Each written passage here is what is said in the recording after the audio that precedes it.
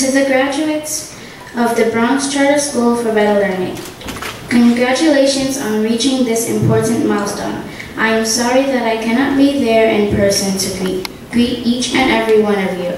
However, I send you sincere wishes for a bright for a bright and successful future as you graduate from elementary school and move on to the higher grades.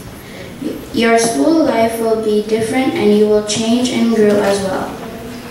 This is just the beginning of many transitions and changes as you journey from elementary to middle school and continue on to high school, university, and beyond.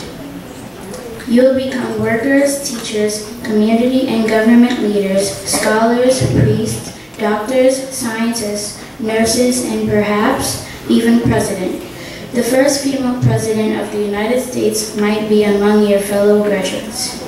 It might be your generation and your graduating class of the Bronx Charter School for Learning, who will solve some of the problems that will plague the world today. Even at your tender ages, you can start to lay the foundation for your future, beginning in your own hearts. In building that foundation, keep the following in mind. The only time you fail is when you do not try to do your best.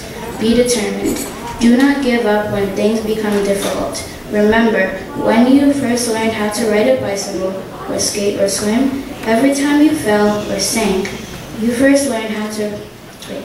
You got back up and tried again. Keep getting back up. Do not let other people define you. No one can make you feel bad about yourself unless you allow them to.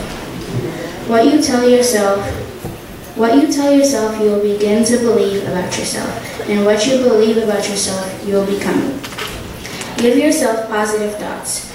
Remind yourself that you are smart, you are as capable as the next person, and that you will succeed. Always try to help someone else. When we help others, we also help ourselves.